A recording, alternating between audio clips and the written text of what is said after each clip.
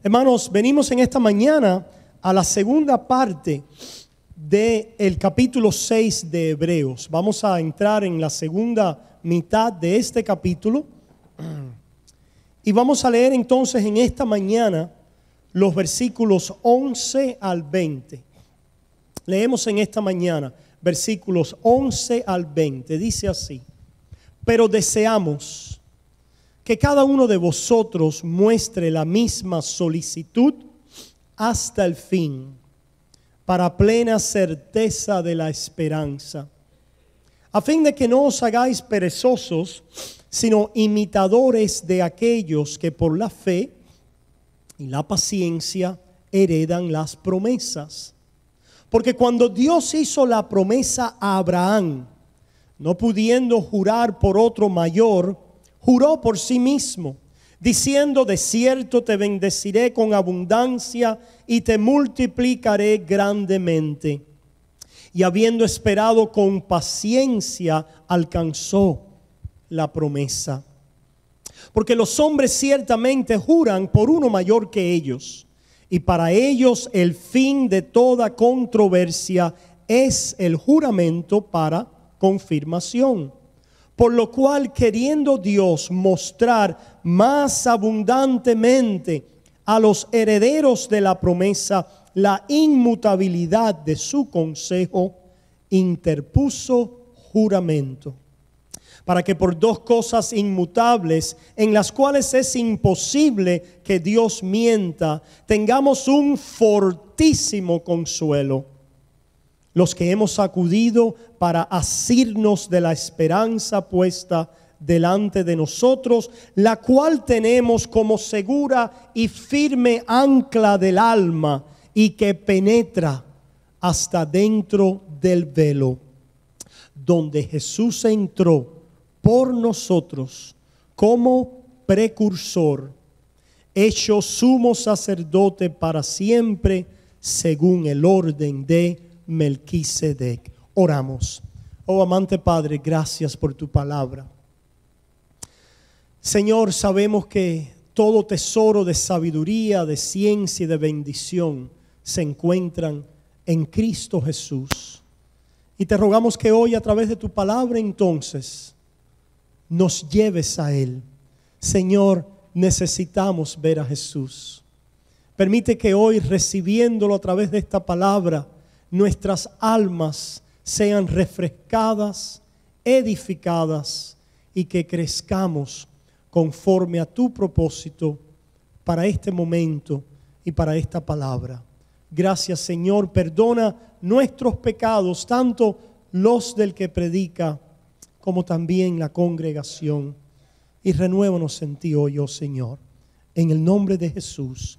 Amén y amén. Hermanos, hemos titulado esta última parte, ¿verdad? Esta segunda parte del capítulo 6 de Hebreos, tal como Abraham, tal son los creyentes. Me inspiré en este eh, dicho en inglés, like father, like son, que en español es, bueno, yo no sé si en español, en cubano, en cubano es de tal palo, tal astilla. Yo no sé si ustedes son, es igual en otras naciones hispanas, de tal palo, tal astilla. Ok, yo pensaba que era nosotros que desbaratamos todo el idioma que habíamos. so, de tal palo, tal astilla. Es un refrán que oímos que se refiere a un hijo que se parece al padre, ¿verdad? Ya mi esposa empieza a decirme acerca de Isaac, ¿a quién se parecerá, verdad? y estoy seguro que ustedes también han visto la validez de este refrán en la manera en que los niños a menudo terminan pareciéndose a sus padres en muchos aspectos.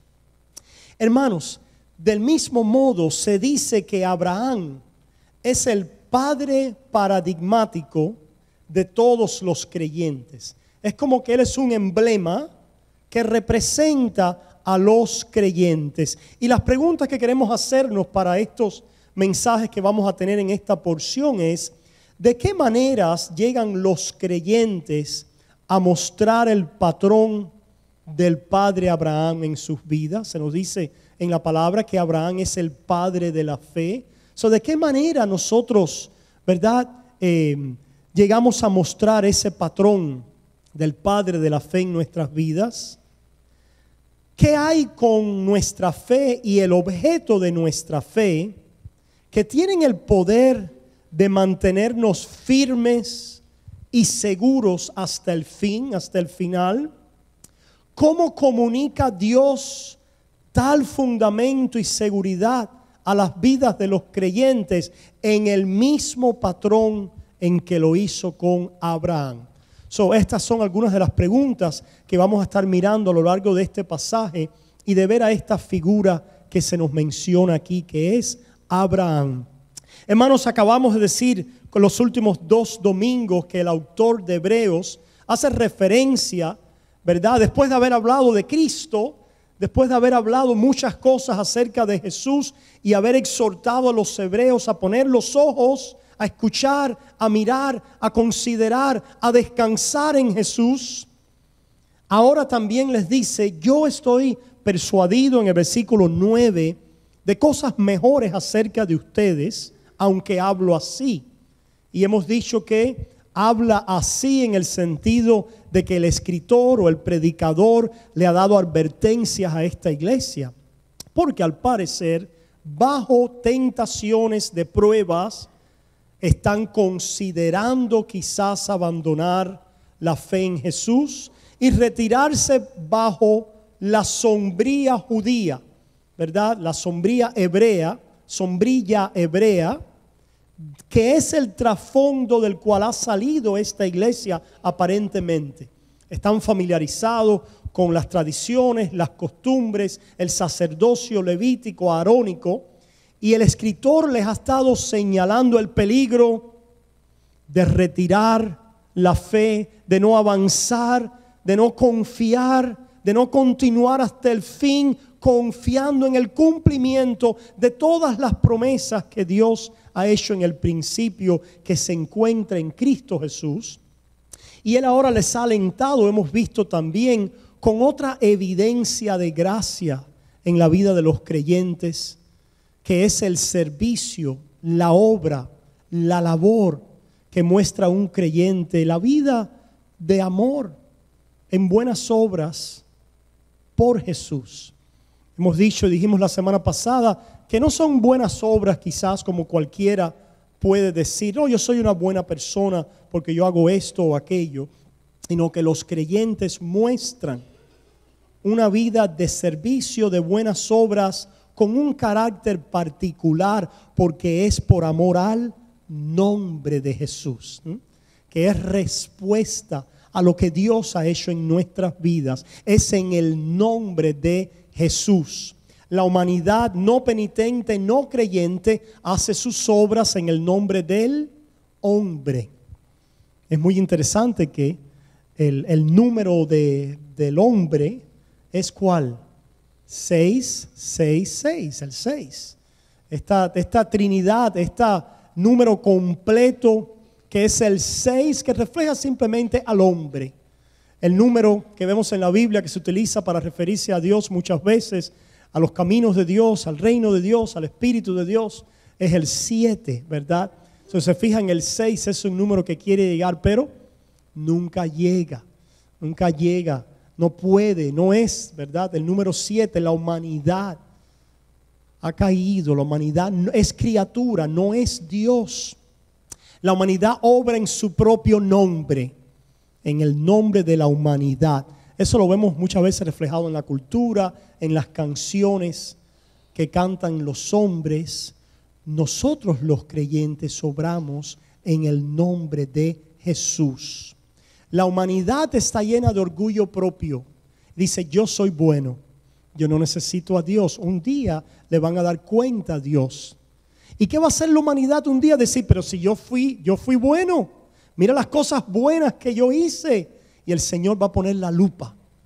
Allí le va a pasar el scan para examinar la radiografía de sus obras, para ver si las obras fueron hechas como en el nombre de Jesús por amor al nombre, por aquellos que han sido rescatados por la misericordia de Dios, por aquellos que han reconocido sus maldades, sus pecados y que no han sido buenos, que han fallado, quebrantado la ley santa de Dios, que Dios es santo y el hombre no lo es. Y que el deber del hombre es amar a Dios y amar a su prójimo y que hemos fallado en hacerlo, pero que Dios envió a Jesús a salvar a la humanidad a perdonarla, rescatarla a través de su sacrificio en la cruz, su muerte y su resurrección. El creyente recibe el Espíritu de Dios y con el Espíritu la fe y el nuevo nacimiento para glorificar a Dios ahora en fe y en buenas obras por amor al nombre de Jesús. Y el escritor utiliza, ¿verdad? Estas cosas visibles en esta iglesia les dice, aunque yo hablo así, estoy persuadido de cosas mejores que acompañan a la salvación. ¿Cuáles son las cosas mejores que acompañan a la salvación? Decíamos la semana pasada, precisamente es estas buenas obras y servicio de amor. Si se fijan, acompañan a la salvación, pero no es la condición para ser salvos. No somos salvos por nuestras buenas obras. No somos salvos por nuestro servicio de amor. Efesios 2, 8 y 9. Porque por gracia somos salvos a través de la fe, no por obras para que nadie se gloríe. Ahora, habiendo sido hechos salvos, dice, ahora somos hechuras suyas, creados en Cristo Jesús para buenas obras.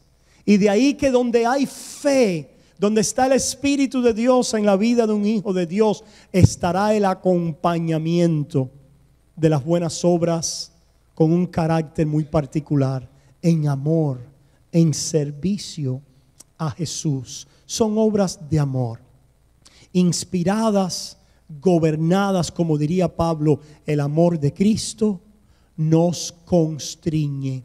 Si Él vivió y se entregó por nosotros y nos amó de esta manera, lo que yo vivo ahora en la carne lo vivo en la fe de aquel que me amó y se entregó a sí mismo por mí. La respuesta a eso es una respuesta igual de amor, de misericordia, de compasión, como decíamos el miércoles pasado. Así como Cristo anduvo en compasión, dice que Cristo miró a las multitudes y tuvo compasión de ellas. El cristiano también se mueve en compasión. El que ha recibido compasión y misericordia de Dios, el que ha experimentado compasión y misericordia de Dios, el que ha probado la compasión y la misericordia de Dios, tendrá en su vida una respuesta de compasión y de misericordia. Por eso es que dice la palabra que aquellos que no muestren misericordia, se les hará, no se les hará con ellos misericordia. ¿Por qué? Porque es un resultado de no haber recibido la misericordia de Dios. Y el reflejo en nuestras vidas de no mostrar misericordia, de no ser compasivo, simplemente testifica de no haber recibido la misericordia, la compasión que Dios ha tenido para nosotros en Cristo Jesús. El escritor le ha dicho estas cosas a esta iglesia y les dice ahora, ok, eso está muy bien, necesitamos y es necesario que ustedes continúen en esta esperanza, que no abandonen esta vida, que no abandonen este camino. Como diría Pablo, la fe que obra por el amor, que continúen avanzando en esta confianza hasta el fin, porque ciertamente se requiere perseverancia. ¿Qué cosa es la perseverancia? nos habla también de paciencia. Es esperar, es el llegar al fin, es el llegar a la meta. ¿Verdad? La palabra de Dios dice, el que persevera hasta el fin será salvo. ¿Cuál es el problema? ¿Cuál es la amenaza para esta iglesia como para todos nosotros? Continuaremos hasta el fin anclados, confiados en el amor de Dios en Cristo Jesús y a través de ese amor trabajando y obrando por amor al nombre? ¿Llegaremos así al fin de nuestras vidas? ¿Cuántos quieren llegar así, hermanos? ¿Verdad? Ah, qué bendito Pablo cuando ora al final de su vida y dice, ah, he acabado la carrera, he peleado la buena batalla, He guardado la fe, por lo demás me espera la corona que Dios tiene preparado para los que le aman. ¿Verdad, hermanos? Si nosotros perdemos de vista a Jesús, perdemos de vista el reino de Dios, dice esta palabra, entonces nos podemos hacer perezosos. Echamos a un lado la diligencia. ¿Y qué pasa en nuestras vidas cuando sucede eso, hermanos? Perdemos de vista las promesas de Dios. Y tristemente lo que vemos en las vidas de algunos es que ya no están en la fe, que ya no caminan como caminaban al principio en confianza en Jesús. Esto es un peligro, ¿verdad? Que el escritor de Hebreos anuncia a la iglesia. Nosotros creemos que los hijos de Dios van a perseverar hasta el fin. Creemos que los hijos de Dios van a terminar esta carrera porque Dios es poderoso para guardarnos. Pero ese guardarnos involucra medios en nuestras vidas. Y estos medios tienen que ver, vamos a ver ahora en este pasaje, qué es lo que una vez más el escritor de Hebreos pone delante de los ojos de esta iglesia para que ellos continúen avanzando ya los alentó, les ha hablado de Cristo, Cristo, Cristo, les ha hecho referencia al servicio por amor al nombre y ahora vuelve inmediatamente a dónde? A Cristo. Ahora vuelve una vez más aquello que va a ser el ancla de la esperanza de esta iglesia y les dice lo siguiente, versículo 13. Porque cuando Dios hizo la promesa a Abraham, no pudiendo jurar por otro mayor, juró por sí mismo. Dice después el versículo 18, para que por dos cosas inmutables, en las cuales es imposible que Dios mienta, tengamos un, subrayen, fortísimo consuelo. ¿Cuántos necesitan un fortísimo consuelo? es la forma en que vamos a poder perseverar es la forma en que vamos a poder tener paciencia y ser diligentes. Cuando nuestras almas son consoladas con un fortísimo consuelo, un fortísimo aliento, consuelo, aliento, consolación de lo alto en medio de las pruebas. Dice, tengamos un fortísimo consuelo.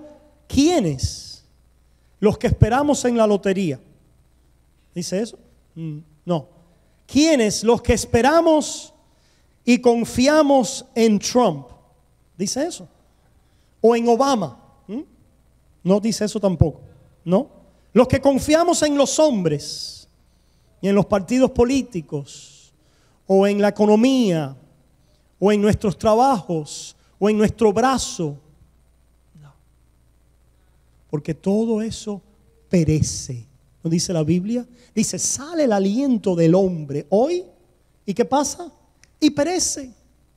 La palabra de Dios nos habla una y otra vez de la fragilidad del hombre. Dice que el hombre es como la flor de la hierba que en la mañana es y en la tarde ha muerto. Dice que es como una neblina, como un vapor.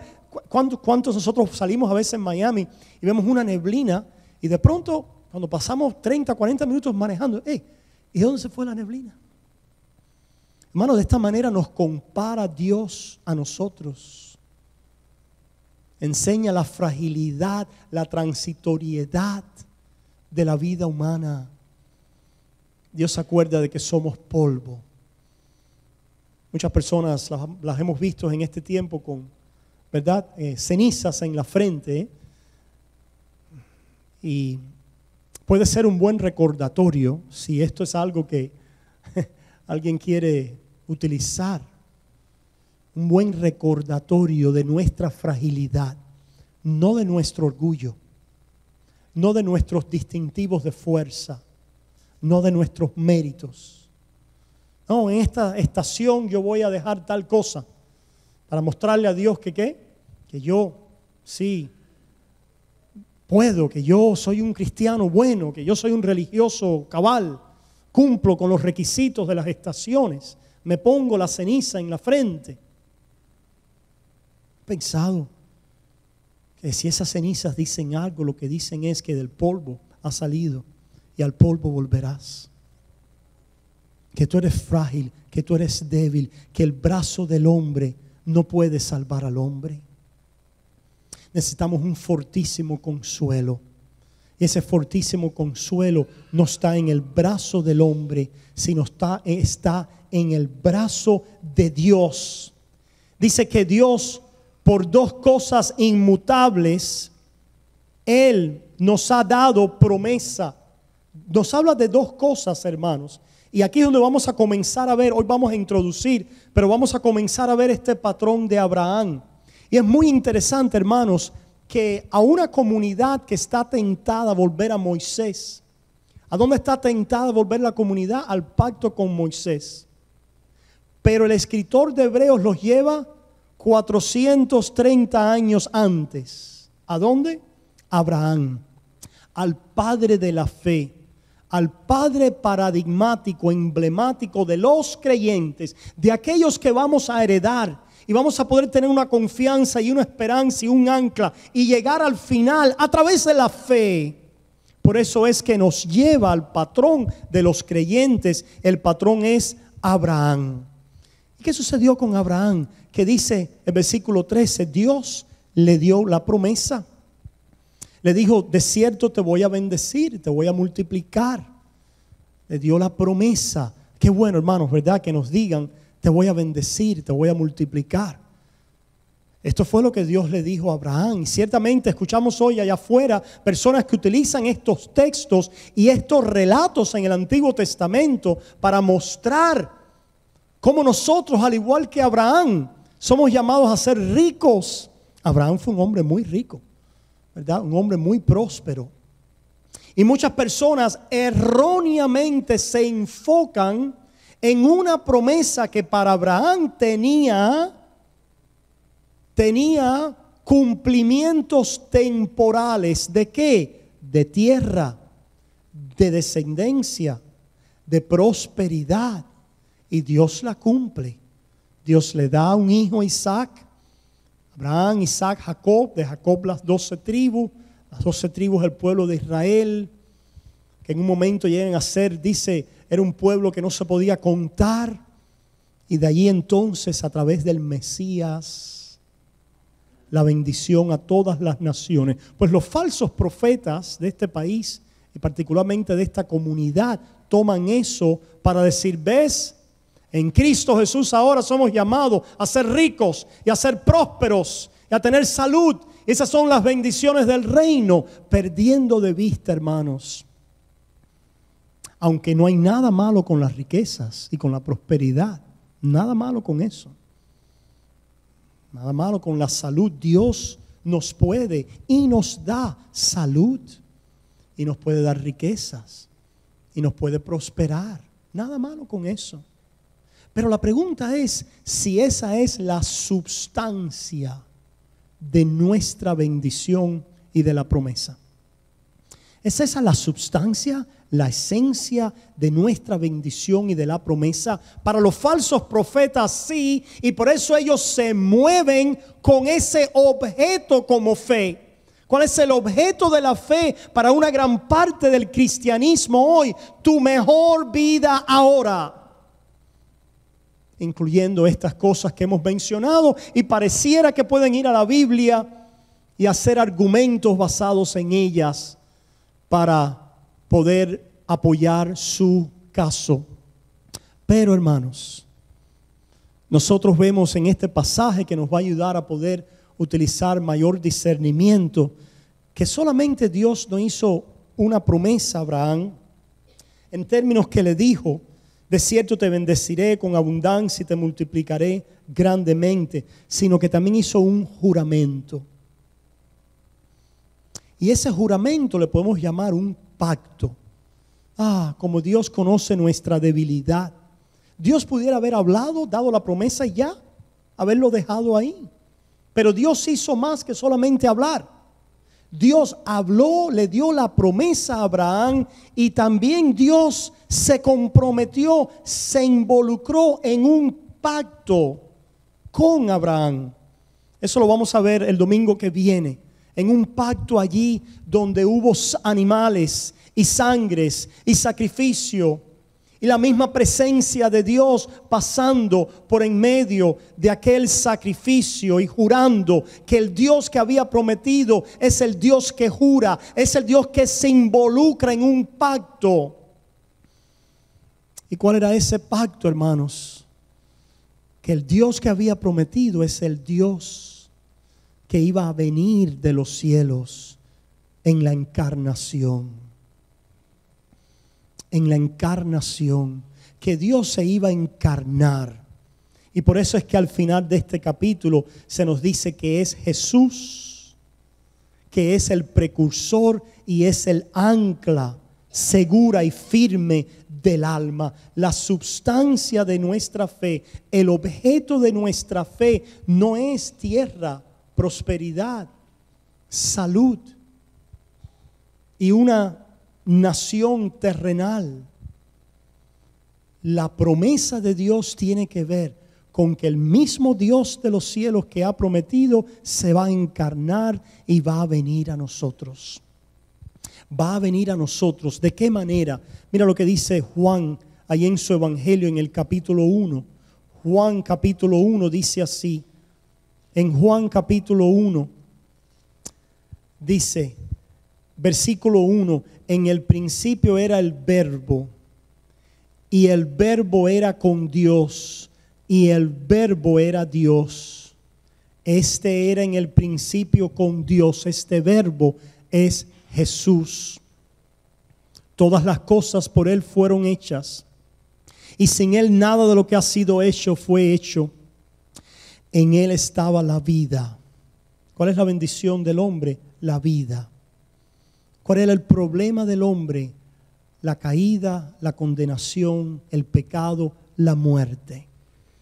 ¿Qué le pasó al hombre que Dios creó? Que en desobediencia, en pecado, en vez de gozar de la vida y del Dios de la vida, perdió la vida. Perdió el lugar. Ciertamente hay un lugar, hay una tierra. Pero la tierra se hace significativa porque, como dice su palabra, Dios caminaba con el hombre en la frescura del jardín. ¿Cuál era la bendición de aquel lugar? Ah, un lugar muy bonito, ¿verdad? Lleno de árboles, frutales. Solamente podemos imaginarnos, ¿verdad? Las riquezas, la fertilidad de aquel jardín. Pero lo más importante era que Dios estaba allí con el hombre y era la vida del hombre y el verbo estaba allí con el hombre y Dios caminaba con el hombre en aquella frescura del jardín. Cuando el hombre peca y desobedece a Dios, sabemos que es desterrado del lugar y el destierro del lugar es un destierro de qué? De la presencia de Dios, de comunión con el Dios de la vida. Dios es la vida, Dios es la bendición. Tú puedes tener casa, tú puedes tener salud, tú puedes tener mucho dinero. Si no tienes a Dios y Dios es tu deleite, no tienes nada. Todo se te va a escapar un día de las manos. Porque dice la palabra que desnudos salimos del vientre de nuestra madre y desnudos regresaremos. Es interesante, Dios creó a Adán y Eva. ¿Cómo? Desnudos. No tenían allí ropas de marca ni, ¿verdad? no, que, mi hermano, no quiero, yo no estoy ofendiendo a nadie aquí, ¿verdad? Sí, que Dios les bendiga, sí. Ustedes pueden comprarse su buena ropita y eso, gloria a Dios por eso. Nada malo con eso. La pregunta es, ¿es esa tu bendición? ¿Es ahí donde está tu corazón?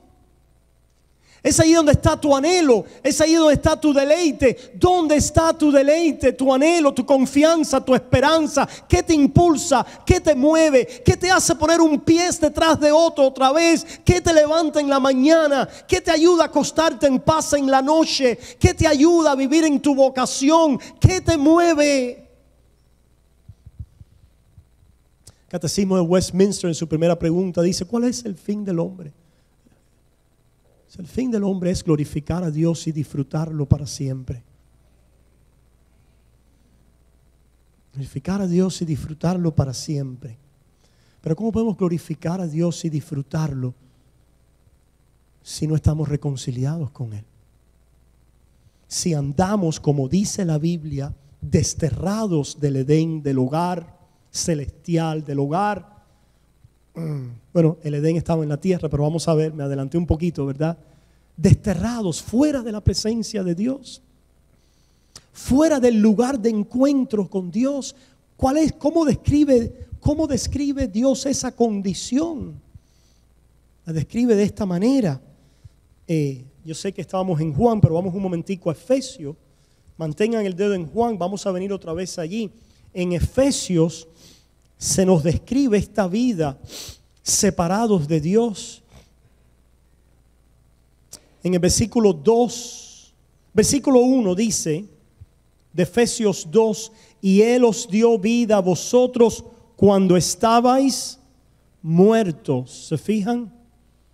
Muertos en vuestros delitos y pecados, en los cuales anduvisteis en otro tiempo, siguiendo la corriente de este mundo, conforme al príncipe de la potestad del aire, el espíritu que ahora opera en los hijos de desobediencia, entre los cuales también todos nosotros, vivimos en otro tiempo en los deseos de nuestra carne, haciendo la voluntad de la carne y de los pensamientos, y éramos por naturaleza hijos de ira, lo mismo que los demás. ¿Se fijan la condición del hombre separado de Dios? Tiene grandes enemigos, internos y externos. ¿Cuáles son los enemigos externos?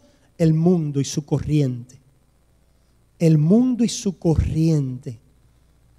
No estamos hablando ahora de la creación que es hermosa. No estamos hablando de cosas buenas que Dios nos ha dado en este mundo para disfrutar. Estamos hablando de un sistema de ideas, de pensamientos, de creencias, de prácticas, de dirección y orientación en esta vida que es contrario a la vida de Dios. Eso es un gran enemigo. Porque todo en este mundo que se refiere a ese sistema contrario a Dios se opone a la vida de Dios. ¿Cuántos hemos experimentado esa oposición? ¿Verdad? ¿Cuántos nos hemos dado cuenta de cómo el mundo se nos opone a la vida de Dios? Ah, pero hay enemigos externos, falta. Externo dice que también hay un qué? Un príncipe de la potestad del aire. ¿Quién es? Es una criatura espiritual. La Biblia le llama Satanás. Es el adversario, es la serpiente antigua. Es el príncipe de los demonios. no solamente tenemos al sistema del mundo, sino está Satanás y sus demonios, criaturas más poderosas que tú y que yo más poderosas que tú y que yo, creadas en un nivel superior, espiritualmente hablando, diferentes a nuestra composición humana. Ese es otro enemigo. La Biblia le llama el adversario. ¿El adversario de quién? De Dios y de su simiente y de su pueblo. Ah, pero tenemos también enemigos que internos. Dice los deseos de nuestra carne los deseos de nuestra carne, los pensamientos de nuestra carne, el corazón de la carne, que dice la Biblia que son de continuo para el mal. ¿Podemos discernir estas cosas en nosotros? Sí, porque todavía la carne está en nosotros. Ya nosotros no estamos en la carne si estamos en el Espíritu, pero la carne sí que sí está en nosotros. ¿eh? No, pierdan de vista eso. La carne está en nosotros. Y esta carne nos está bombardeando de adentro con deseos, con inclinaciones, con orientaciones contrarias a la vida de Dios. De tal manera que estábamos, dice el versículo 1, muertos antes de Cristo. ¿Cuál es la condición del ser humano? Muertos en delitos y pecados. ¿Cuáles son nuestros enemigos? Es bueno que lo identifiquemos, hermanos, para en las oraciones orar. ¿verdad? ¿Cuáles son nuestros enemigos? Podemos ir de adentro hacia afuera, ¿verdad? La carne, nuestra pecaminosidad, los pecados que fluyen de ella, el mundo, ¿verdad? El sistema del mundo contrario a Dios, Satanás y sus demonios, la muerte como resultado. Esa era nuestra condición. Ah, pero hay buenas noticias. y hay un ancla del alma en esta lucha, en este peregrinaje. Hay una roca, hay un fundamento, hay una fuerza para continuar caminando y avanzando para el pueblo de Dios. Hay una fuerza, hay una roca, hay un fundamento, hay una motivación para no ser perezosos, sino para una vez más ser reavivados en diligente, en diligencia, buscando al Dios que nos ha salvado. ¿Y cuál es esa roca? Si ustedes se fijan, el autor de Hebreos nos lleva fuera de nosotros a la palabra de Dios y a su pacto. A la palabra de Dios y a su pacto. Y lo vemos aquí en Juan. Esa palabra de Dios, ese verbo de Dios, ¿se fijan? Esa palabra, ese verbo de Dios en el cual íbamos a ser bendecidos, ha entrado en un pacto. Se ha comprometido, ha jurado en este pacto. Pero lo asombroso. Pastor, usted habla mucho de asombro. Nosotros tenemos una fe asombrosa. Si nunca te has asombrado de la fe, es porque o no la conoces todavía o está muy enterrada bajo las tantas cosas de este mundo. Nuestro Dios es un Dios asombroso. Todas las religiones del mundo es el hombre tratando de ascender a Dios. Hay un Dios allá afuera, como quiera que le llamemos, el arquitecto del universo, el poder superior o el nirvana o la diosa, no sé qué cosa, la creación, la naturaleza. De alguna manera queremos ascender a Dios. Y ascendemos a Dios a través de ciertas obras, ciertos ritos o ciertas tradiciones, cierta purificación que el hombre fabrica, busca, condiciona, hace el hombre, las religiones del mundo es el hombre ascendiendo a la deidad. Todo hombre es religioso, aún los ateos, aún los ateos. El cosmos, ¿eh? los misterios del cosmos, buscando siempre la manera en que salió la vida por sí misma. Nunca la pueden encontrar. Encuentran vida, pero no el origen, porque no encuentran a Dios. Porque en el principio creó Dios los cielos y la tierra. Encuentran un punto singular donde comenzó todo, pero no encuentran a Dios porque han decidido echarlo a un lado. Encuentran diseño e inteligencia e información en la ciencia, en el ADN, encuentran mecanismos biológicos, encuentran complejidad y estructuras que presuponen inteligencia y diseño, pero no encuentran al diseñador. No lo encuentran porque ellos quieren ascender. Ascender ya sea por la ciencia, por la educación, por la intelectualidad, por sus religiones vanas. La Biblia lo describe de esta manera en el tiempo de Jesús. Los judíos piden señal y los griegos buscan sabiduría. Pero agradó a Dios salvar al mundo por la... ¿Ves, mamita, porque estoy loco? Mi esposa me dice que yo estoy loco. Es que esto es para locos. Agradó a Dios salvar al mundo por la locura de la predicación. ¿Cuál es esta locura, hermanos? Algo, algo como dicen los profetas. Ah, yo voy a hacer una cosa que no ha subido en corazón de hombre. No, no ha subido a los oídos, al corazón, a la mente del hombre. Les voy a contar unas cosas que si alguien se lo dijera, ustedes quedarán asombrados. Nunca habíamos oído tal cosa. Es nuestra fe, el objeto de nuestra fe, la sustancia de nuestra fe. Es el cristianismo verdadero, la verdadera religión que todas las cosas por Él fueron hechas y sin Él nada de lo que ha sido hecho fue hecho. En Él estaba la vida y la vida era la luz de los hombres. La luz en las tinieblas resplandece y las tinieblas no prevalecieron contra ella.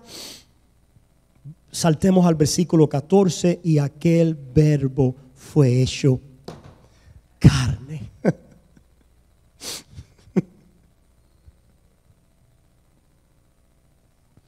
De tal manera nos amó.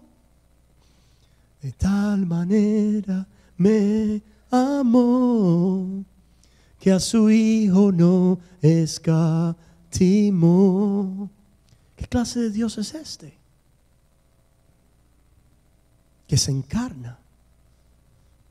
Pero se encarna en santidad y se encarna con un pacto de gracia y de amor donde Él va a tomar nuestro lugar, donde Él se va a interponer, su Hijo va a tomar el lugar que nosotros debiéramos haber tomado y padecido bajo la justa ira de Dios, bajo la justa justicia de Dios.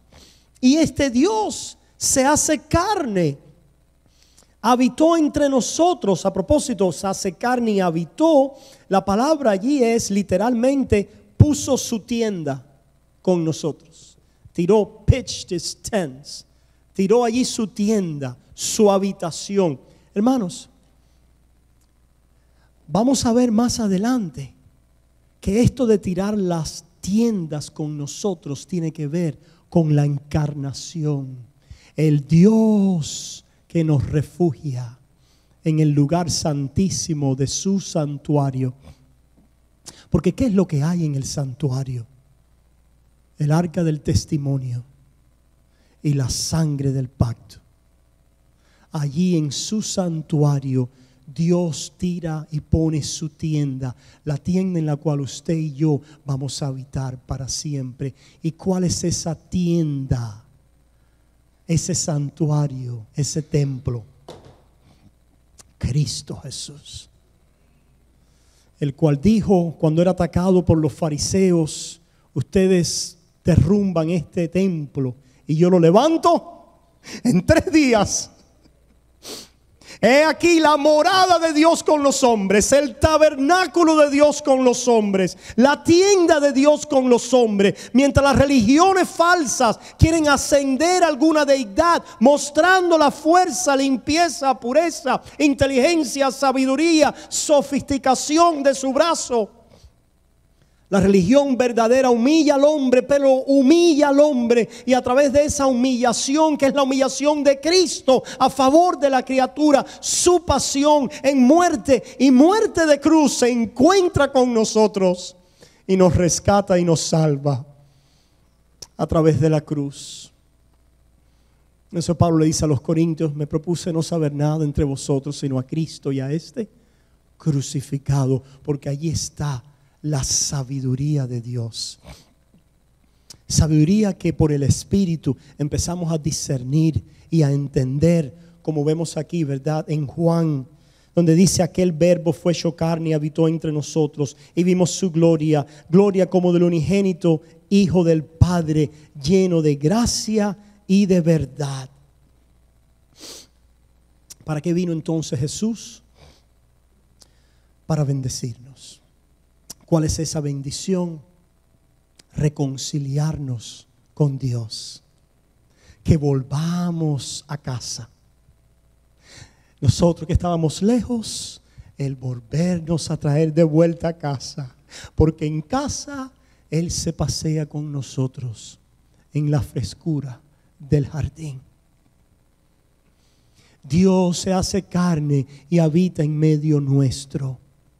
Dios vive con nosotros. Dios es nuestro tabernáculo. Él es nuestra luz. Él es nuestro templo.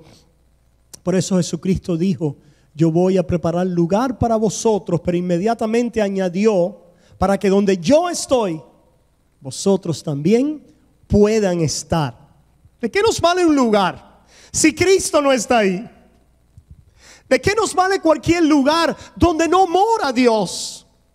La esperanza, la promesa, La bendición del creyente, el deleite del creyente es la morada de Dios con los hombres, la tienda de Dios con los hombres, el altar de reunión de Dios con los hombres. Por eso cada vez que los patriarcas ponían un altar, ahí tiraban su tienda. tiraban sus tiendas donde ponían un altar. Allí donde Jacob, el temeroso, el suplantador, Allí el pecador huía de su hermano Esaú y pone su cabeza sobre una almohada. Allí le dada la revelación de la escalera de Jacob. Y tristemente no es como el himno dice que subimos por la escalera de Jacob. No, no. La escalera de Jacob dice allí que descendían ángeles sobre ella. Y la escalera de Jacob que viene de los cielos al hombre es la mediación del Hijo.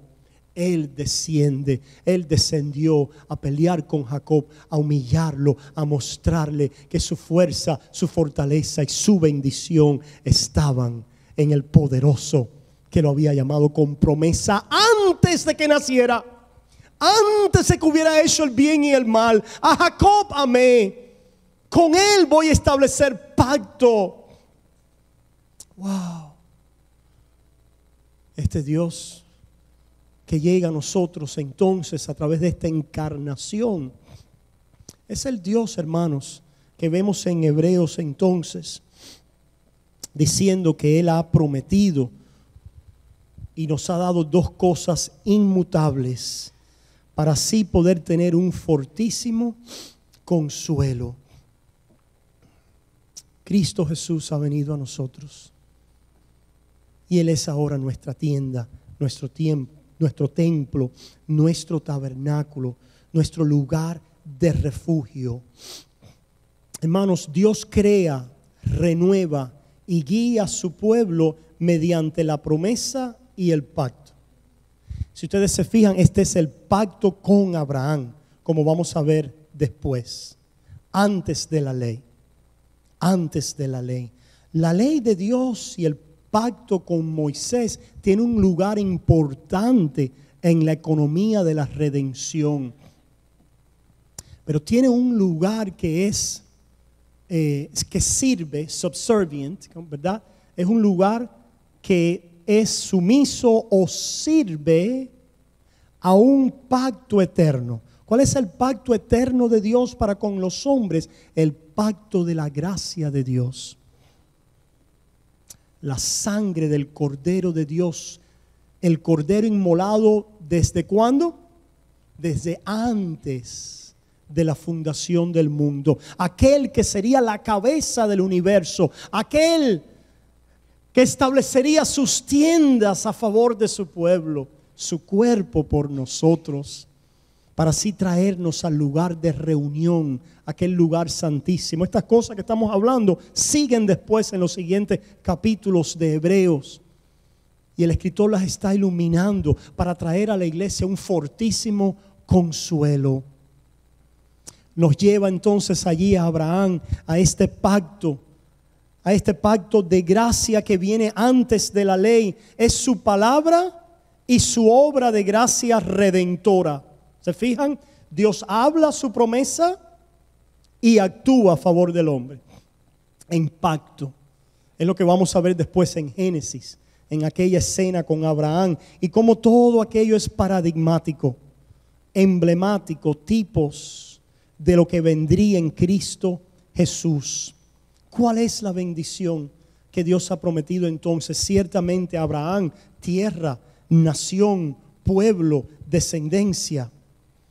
Pero ¿con quién tiene que ver todo esto, hermanos? Vayamos un momentico a Gálatas y vemos el significado espiritual de estas cosas.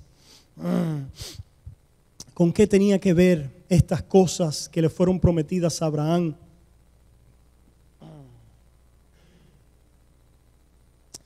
Vayamos ahí a Gálatas capítulo 3 y escuchamos allí lo siguiente. En el versículo 15 escuchamos esto, hermanos, hablo en términos humanos, un pacto, un pacto, aunque sea de hombre, una vez ratificado, nadie lo invalida ni le añade. Ahora bien, a Abraham fueron hechas las promesas y a su simiente. No dice y a las simientes como si hablase de muchos, sino como de uno, y a tu simiente, la cual es Cristo. ¿Se fijan, hermanos? Cristo iba a ser la simiente de Abraham. Oh, bueno, la simiente de Abraham es Isaac. No, Isaac es un tipo, ¿verdad? De Cristo, de la simiente de Abraham, a través de la cual Dios va a bendecir a quién? No solo a Abraham, y a Isaac y a Jacob y a Israel, sino va a bendecir a quién? A todo el mundo, a judíos y a gentiles. Con un ejemplo paradigmático de cómo iba a ser la bendición, es el padre Abraham de la fe que creyó. Le fue hecho a él las, la promesa del Mesías. Aquellos que solamente ven la promesa de sus Mesías de prosperidad, de salud, de riqueza arrepiéntanse y vuélvanse a la verdadera promesa en Cristo Jesús. Voltéense en arrepentimiento a la promesa eterna de la salvación de nuestras almas, donde tenemos todo bien y toda verdadera prosperidad y toda verdadera bendición conforme a los propósitos de Dios para ahora. Ah, pero conforme a una herencia incorruptible en los cielos, como va después decir el apóstol a Pedro. Sigue diciendo este pasaje de Gálatas, versículo 17, esto pues digo, el pacto previamente ratificado por Dios para con Cristo. ¿Se fijan? Aquel pacto de Abraham tenía que ver con Cristo. En Cristo Abraham y todo el mundo iba a ser bendecido. La ley, el pacto de Moisés, la ley que vino 430 años después, no lo abroga para invalidar la promesa. ¿Se fijan, hermanos? Y aquí, y aquí hay una tensión que los estudiantes bíblicos y el pueblo de Dios y la iglesia y muchos intérpretes han querido eliminar. Porque a los hombres no les gustan las tensiones. ¿eh? Hay una tensión entre la promesa y la ley. ¿Por qué es que Pablo dice no lo invalida? Porque alguien puede decir, bueno, sí, a Abraham le dijeron estas cosas, pero para poder heredar tenemos que cumplir el pacto de Moisés. Y de esta manera los fariseos y los intérpretes de la ley habían eliminado una tensión existente en la palabra, una tensión que tiene respuesta, correcta resolución, pero tiene que ser en tensión con un propósito. ¿Qué quiere decir esto? Para los fariseos, los escribas, los líderes, los intérpretes de la ley en aquel momento, el pueblo iba a heredar con Abraham cumpliendo la ley de Moisés. Cumpliendo ellos como el pueblo fiel, elegido en Abraham. Nosotros somos hijos de Abraham y es más, somos hijos de Abraham, escogidos así para el pacto con Moisés. Y a través de cumplir el pacto de la ley como hijos de Abraham, heredar el reino cuando venga el Mesías, perdiendo de vista el plan y el propósito de Dios. Que ellos no iban a heredar a través de la ley de Moisés. Que si alguien va a heredar delante de Dios, va a heredar o a ser bendecido con Abraham a través de la fe. Y alguien pregunta, ¿y para qué entonces es la ley? Pablo responde aquí, y nos dice, versículo 19, mira, Pablo sabe lo que ustedes están pensando. Versículo 19, entonces, ¿para qué sirve la ley? ¿Se fijan? Fue añadida a causa de las transgresiones hasta que viniese la simiente a quien fue hecha la promesa y fue ordenada por medio de ángeles en mano de un mediador fue añadida a causa de las transgresiones. Después nosotros oímos a Pablo en Romanos decir, por la ley viene el conocimiento del pecado. Esa ley explícita de todos los requisitos, los requerimientos de Dios, los mandatos de Dios, el decálogo, las leyes de purificación, las ceremonias para purificarse, la circuncisión, la sangre, etcétera, etcétera, fue añadida a causa de las transgresiones para mostrarle al pueblo la necesidad de un qué? De un Salvador, de alguien que iba a venir y a tomar nuestro lugar, tu lugar, mi lugar, el lugar del pueblo de Israel, iba a cumplir la ley a nuestro favor. Eso lo dice más arriba.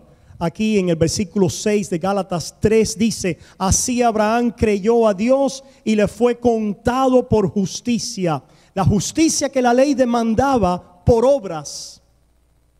Haz tal cosa y vives. El que haga estas cosas vivirá en ellas. Así hablaba la ley. Hablaba con un propósito, no para salvar a nadie, porque nadie se puede salvar por la obediencia a la ley.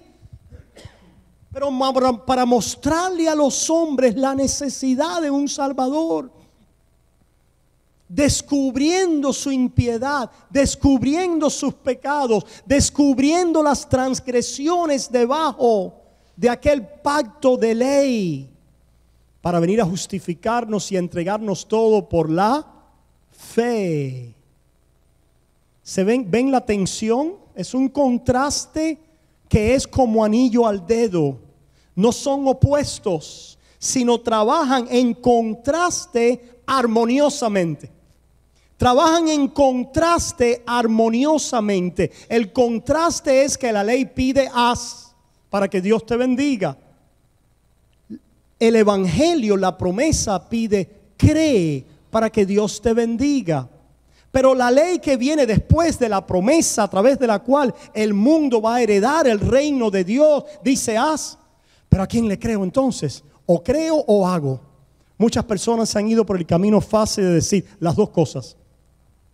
por si acaso. Vamos a creer y vamos a hacer para que Dios nos acepte. Pero engañándose a sí mismo, porque nadie ha podido cumplir el pacto de la ley. Nadie ha amado a Dios como la ley demanda. Nadie ha amado a su prójimo como la ley demanda por cuanto todos hemos pecado y estamos destituidos de la ley de Dios. David decía, no entres en juicio conmigo, porque no se justificará delante de ti ningún hombre. Esto nos humilla y nos hace buscar a un Salvador, a la gracia y a la misericordia de Dios. Lo dice así Pablo en este pasaje, dice, versículo 7 de Galatas 3, ya vamos a terminar. Saber por tanto que los que son de fe, estos son hijos de Abraham. Y la escritura previendo que Dios había de justificar por la fe, no por la fe y las obras, no por Abraham y Moisés, sino a través de Abraham, por la misma fe de Abraham había de justificar por la fe a los gentiles, dio de antemano la buena nueva, el Evangelio. En ti serán benditas todas las naciones. ¿A través de quién? De Cristo Jesús. Y la fe en Jesucristo. Esta era la buena nueva. Sigue diciendo, ahora está el contraste otra vez. La tensión necesaria en armonía. Dice ahora el versículo 10, porque todos los que dependen de las obras de la ley están bajo maldición. Si usted quiere justificarse por sus obras, ser aceptado por Dios, por vuestra obra, por vuestro ascenso a Dios, usted está entonces echando a un lado el descenso de Dios, la encarnación de Dios. Cristo ha sido crucificado en vano. Y esto es lo que le dice el escritor de Hebreos a la iglesia. Si ustedes se apartan de Cristo, están contando inmunda la sangre del pacto. ¿De qué pacto? Del pacto de obra, de la promesa, de la promesa dada a Abraham, que es el pacto nuevo en su sangre para salvación y herencia de todos los que creen. Dice entonces Pablo aquí, pues escrito está, ¿por qué es que la ley trae maldición? ¿Por qué? ¿Es mala la ley? De ninguna manera.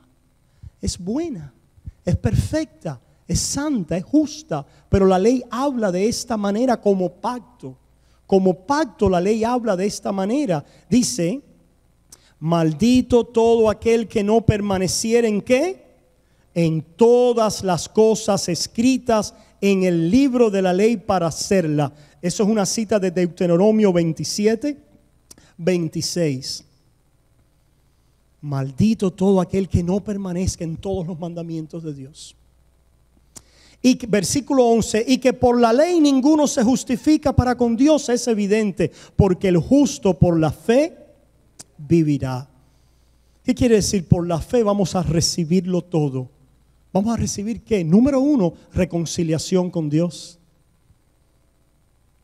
Romanos capítulo 5, versículo 1. Justificados pues por la fe, tenemos paz para con Dios. Ah, bendita paz. La paz del alma. El ancla de nuestra alma. Pero no solamente nos da la paz de la justificación, sino nos entrega la vida de Cristo en frutos del Espíritu por la misma fe.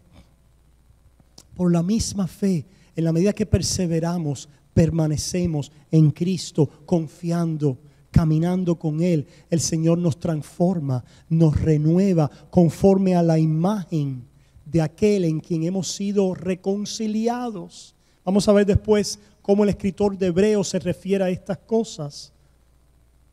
So, por la fe ahora heredamos todas las cosas. Por eso cuando decimos y hablamos de que Dios en su ley pide todo lo que pide, cualquier demanda podemos decir es, una, es, es un mandato, un precepto de Dios. Después decimos, por su gracia, por la fe, nos lo regala. Esto, pero eso es muy fácil, eso no. No, no, no es fácil. Es imposible. Es una locura. No es sabiduría humana. El hombre humano quiere lograr por las cosas por su virtud, por sus esfuerzos, por sus obras. El Evangelio es que Dios lo logra entregando a su Hijo, a carne humana que también es Dios, Dios hecho hombre, al Emmanuel lo entrega por nosotros, muere y resucita y a través de la fe nos entrega los regalos de los cielos. Los regalos de los cielos. Dice entonces aquí para terminar, versículo 12, versículo 11, y que por la ley ninguno se justifica para con Dios es evidente, porque el justo por la fe vivirá. Y la ley, subrayen esto hermanos, y la ley no es de fe. Si alguien quiere vivir por la ley, si alguien quiere vivir por la ley, tiene que vivir no creyendo, sino que haciendo y haciéndolo todo, haciéndolo todo para de esta manera ser bendecido. Pero Abraham no fue bendecido haciendo, sino fue bendecido como creyendo y confiando en la promesa. Pero la ley dice que hagas. ¿Por qué? Porque Dios en Cristo va a ser por nosotros. No es que Dios haya echado a un lado las demandas de su ley perfecta, que es buena, santa y justa. Cristo va a ser a nuestro favor. Y por las obras de Jesús, por la obra de Cristo y su vida perfecta y su muerte y resurrección, nosotros al creer somos reconciliados y al creer también comenzamos a ser comenzamos a obrar en buenas obras como fruto del Espíritu por amor del nombre que nos ha reconciliado, de la gracia de Dios que Dios nos ha mostrado y nos ha regalado. Dice entonces, si la ley no es de fe, sino que dice, el que hiciera estas cosas, vivirá por ellas. Pero ¿qué pasa si no las haces? Eres maldito, mueres. Por eso dice versículo 13, la promesa, la sustancia de la promesa Cristo, versículo 13, nos redimió de la maldición de la ley, hecho por nosotros maldición, porque está escrito, maldito todo el que es colgado en un madero, para que en Cristo Jesús la bendición de Abraham alcanzase a los gentiles a fin de que por la fe recibamos la promesa del Espíritu. Y con el Espíritu todas las cosas. Qué bendición, hermanos. Qué gran bendición para el pueblo de Dios y para aquí, amigo, para ti, amigo, que estás aquí en esta mañana. ¿Dónde te encuentras hoy? Hoy que has oído hablar de esta promesa de Dios para pecadores, ¿correrás tú hoy a Cristo? El Espíritu Santo allí está llamándote, atrayéndote. Puedes tú oír la voz de Dios diciéndote, eres un pecador y necesitas a un Salvador. Tu bendición es ser reconciliado con Dios, ser unido a Él una vez más y ser uno con Él ahora en Cristo para siempre, por toda la eternidad, para disfrutar de su vida y de aquellas cosas eternas que Dios va a manifestar un día en nuevos cielos, en nueva tierra y que ahora empieza a darte a través de su espíritu el deleite de su amistad, de su comunión, de su presencia, su cuidado, su preservación, su fidelidad, su compañía, su victoria su acompañamiento, su consuelo, su gozo, su amor. Ah, ¿quieres tú esto en esta mañana, pecador? Pastor, ¿qué debo hacer? Cree en el Señor Jesucristo y serás salvo. Corre a Él hoy en arrepentimiento, volteate de tu vida, de tu propia confianza, de tus propios pecados, de tus propios caminos y volteate a Dios que es amplio en perdonar. Dile, Señor, yo soy un pecador, sálvame.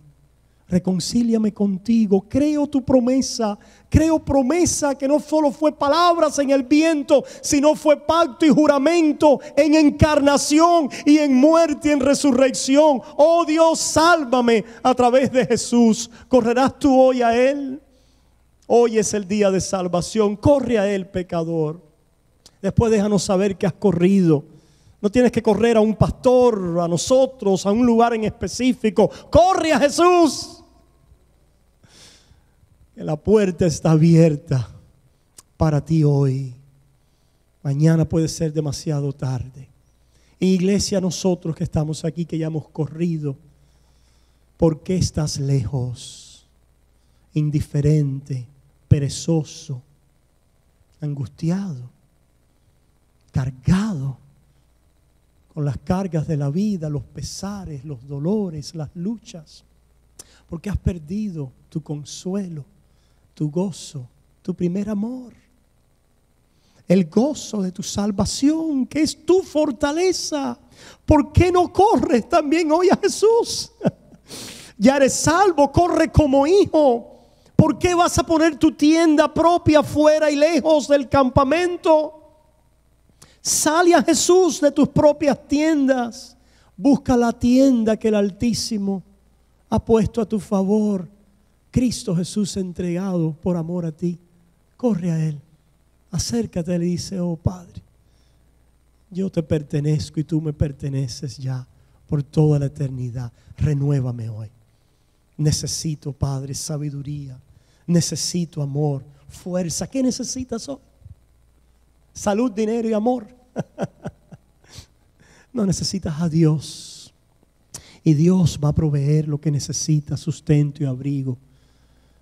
Dios va a cumplir en tu vida los años que Él quiere y tiene para ti. No te vas a ir ni un día más, ni un día menos. Tranquilo.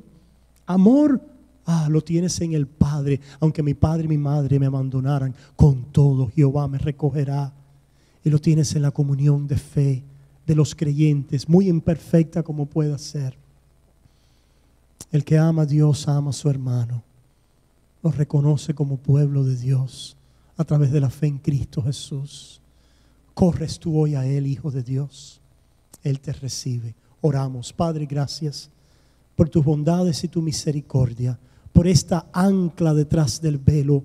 Cristo Jesús, nuestro precursor nuestro santuario, templo, tienda, sumo sacerdote, lugar de encuentro y de reconciliación, renovación y vida en abundancia para todo aquel que cree, que pide, que descanse y espera. Gracias Padre, recibimos hoy, porque recibimos a través de tu Hijo amado Jesucristo y el pueblo de Dios dice, amén y amén. Que Dios les bendiga hermanos, amén.